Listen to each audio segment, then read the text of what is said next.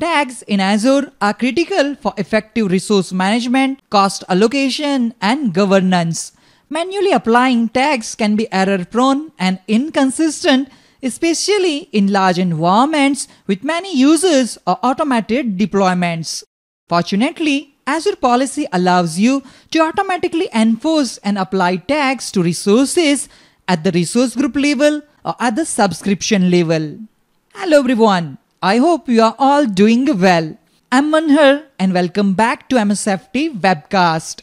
In this video, we will walk through how to automatically tag Azure resources using Azure Policy. In the previous video, we learned how to enforce resource tagging with Azure Policy. We have configured an Azure policy at the subscription level to prevent resource creation in Azure without assigned tags. You can find the link to the video in the description. In the first step, we need to log into the Azure portal.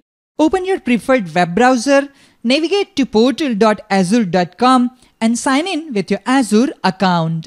On homepage, click on Resource Groups. Click on Test App-RG02 Resource Group. At the moment, there are no resources in the resource group.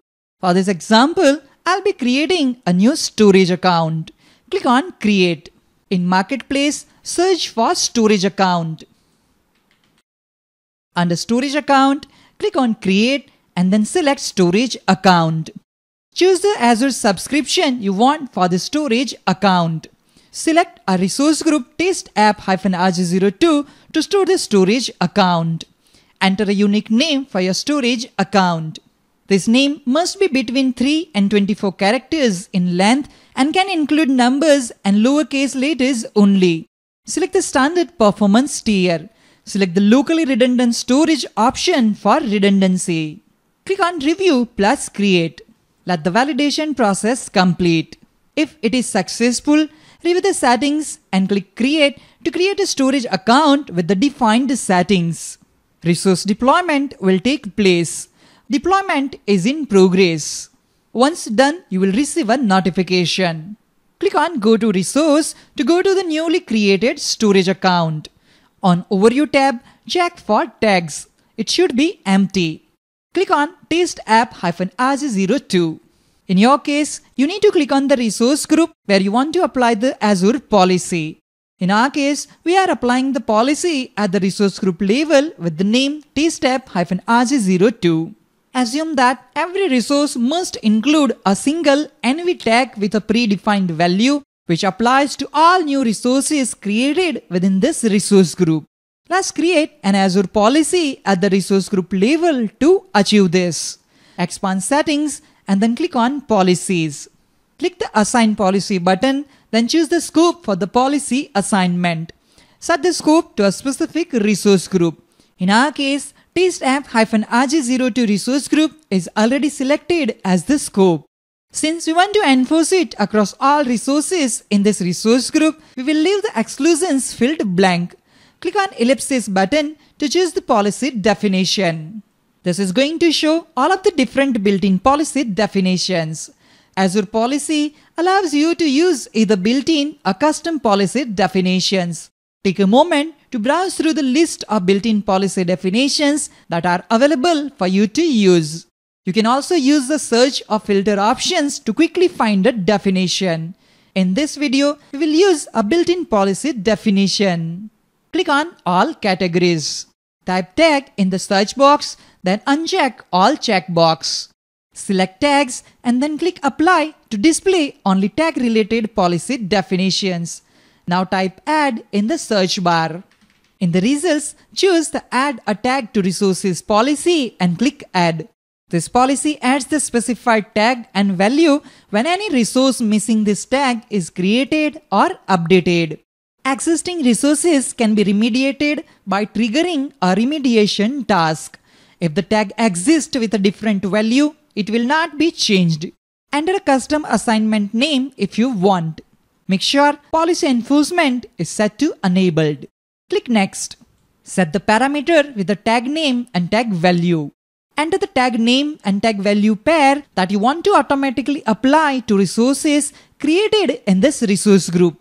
Let me type tag name env and tag value will be test. Click next. This policy will only apply to new resources created in the targeted resource group. For existing resources, we need to create a remediation task to enforce the policy. Select Create a Remediation Task checkbox. Here we have selected Policy to Remediate and here we have our policy which we have selected Add a tag to resources. This policy definition includes the modify effect so a manage identity is required. Here I'm going to keep system assign manage identity selected. Click on review plus create. Review the settings and when validation is successful, click create. Wait for a few seconds. The policy created successfully. Click on refresh. Verify that the newly created policy is listed. Next, we will test the new policy assignment by trying to create a new storage account without a tag. Note that it may take between 5 and 10 minutes for the policy to take effect. Click on Portal menu and select Storage Accounts. Choose the Azure subscription you want for this storage account. We will store this storage account in testapp-az02 resource group. Enter a unique name for the storage account. Select the standard performance tier. Select the locally redundant storage option for redundancy. Click on Review plus Create. Let the validation process complete. If it is successful, review the settings and click Create to create a storage account with the defined settings. Deployment is in progress. Resource deployment will take place. Once done, you will receive a notification. Click on Go to Resource to go to the newly created storage account. On Overview tab, check for tags. Verify that the env tag with the value test is present on the storage account.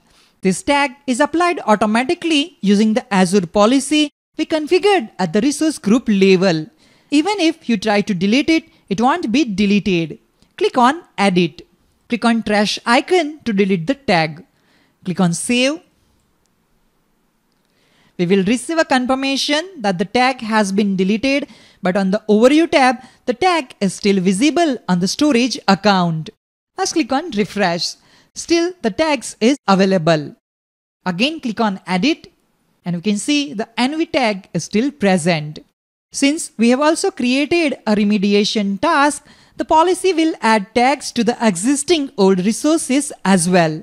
Click on Test App-AZ02.